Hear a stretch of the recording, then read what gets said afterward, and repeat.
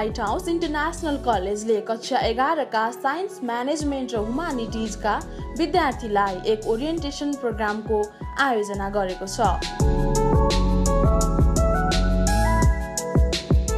कार्यक्रमका प्रमुख अतिथि जोस निरौला कलेजका प्रिन्सिपल युवराज शर्मा तथा कलेज डाइरेक्टर नारायण काफ्रेको उपस्थितिमा पानसमा दीप प्रज्वलन गरी कार्यक्रमलाई औपचारिक रूपमा अगाडि बढाइएको थियो।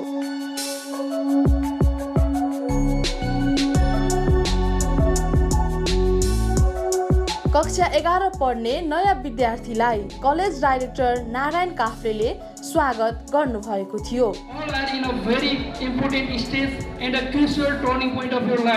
First of all, I want to assure you that this decision to join the White House will be proved one of the best decisions of your life. During the course of your admission, I have interacted many times with your parents and guardians of most of the students staying inside this hall. As I remember the interaction and dis- uh, discussion during the admission process, I, I would like to say that the combination of the students is as beautiful as rainbow. As it is a full of ethnic, regional, gender and various diversities and backgrounds. The presence of students from different backgrounds will be mutually beneficial for all because most of you have arrived here from rural parts of the country while some others have important experience of an urban and semi-urban life. प्रमुख अतिथि जोस निरौलाले उपस्थित विद्यार्थीहरूलाई पठन पाठनमा ऊर्जा थप्ने प्रेरणादायक सुझावहरू प्रदान गर्नुभएको थियो।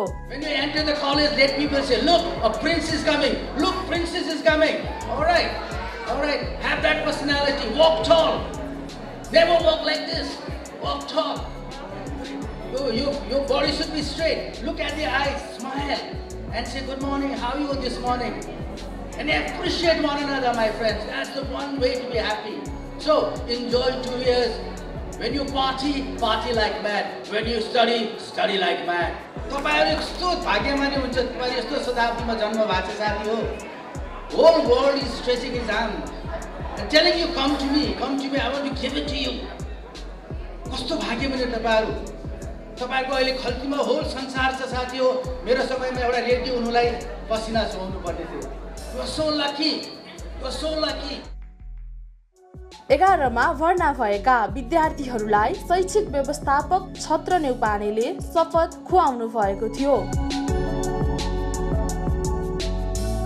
कलेजका प्रिन्सिपल युवराज शर्माले औपचारिक कार्यक्रमलाई समापन गर्दै धेरै कलेजहरूको बीचमा विश्वास गरी Himalayan white house international college नै रोज्नु भएकोमा आफ्नो कलेजले विद्यार्थीको शिक्षा सिप विकासमा सधैँ तत्पर रहने कुराको प्रतिबद्धता जनाउनुभयो. So it's so energetic, joyous, and proud moment for all of us that we have got wonderful young talents like you in this Himalayan White community. I would like to welcome all of you to this college for your at least for another two years journey and make sure will not let you down.